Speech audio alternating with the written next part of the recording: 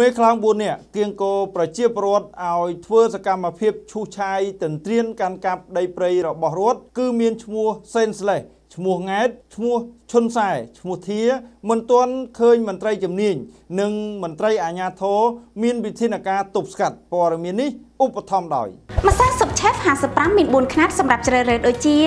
17ក្រាម200ក្រាម400ក្រាមនិង800ក្រាមម្សៅស៊ុបឆេฟ55អាចជួយឲ្យគ្រប់មុខម្ហូបរបស់លោកអ្នកមានរសជាតិឆ្ងាញ់ឆ្ងាញ់ជាប់ចិត្ត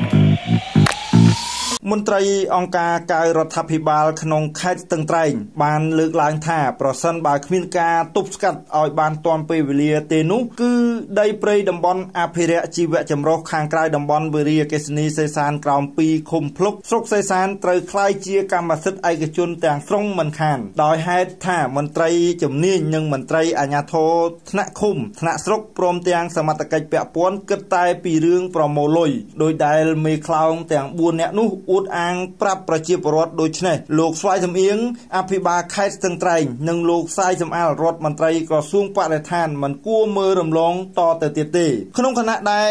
ដីព្រៃរបស់រដ្ឋនៅឃុំភ្លុកស្រុកសៃសានរងការទន្ទ្រានកាន់កាប់យ៉ាងរាលដាលប្រភពព័ត៌មានពីប្រជាពលរដ្ឋនៅឃុំភ្លុកស្រុកសៃសានខេត្តស្ទឹងត្រែងបានឲ្យដឹងថាបច្ចុប្បន្នមានបុគ្គល4នាក់គៀកងប្រជាពលរដ្ឋពីចំណុចអូ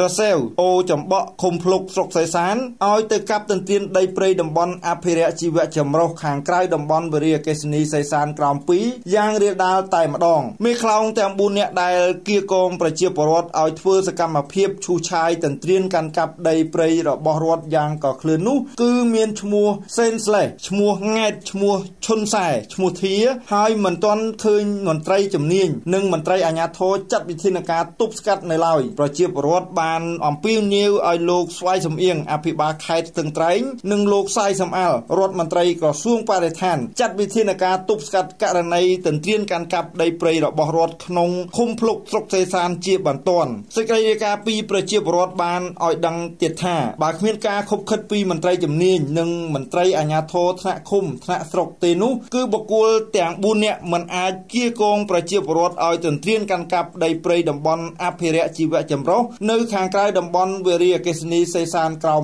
2តាមអំពើចិត្តបានឡើយជាក់ស្ដែងប្រធានមន្ទីរបរិស្ថានខេត្តស្ទឹងត្រែងក៏ដូចជាមេឃុំភ្លុកនិងអភិបាលស្រុកសេសានបានរក្សាភាពស្ងៀមស្ងាត់មិនហ៊ានប៉ះពាល់បុគ្គលទាំង4នាក់នោះទេ ហើយមិនខ្វល់ពីការរិះគន់អ្វីទាំងអស់ប្រការនេះហើយទើបបុគ្គលឈ្មោះសេនស្លេះឈ្មោះង៉ែតឈ្មោះឈុនសែនិងឈ្មោះធាអួតអាងប្រាប់ប្រជាពលរដ្ឋថាពួកគេមិនខ្លាចសមត្ថកិច្ចបង្ក្រាបទេព្រោះពួកគេបង់លុយរួចអស់ហើយម្សៅស៊ុ បឆេฟ55មាន4ខ្នាតសម្រាប់ជ្រើសរើសដូចជា